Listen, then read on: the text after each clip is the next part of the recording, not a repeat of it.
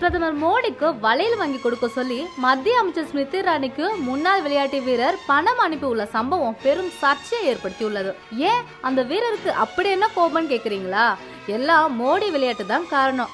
அவரோட ட்விட்டர் பேஜ்ல எல்லா நிகழ்வுகள் குறித்தும் பதிவிடும் மோடி பழம்பெரும் பாலிவுட் நடிகர் வினோத் கண்ணா மறைவுக்கு அஞ்சலி செலுத்தினார்.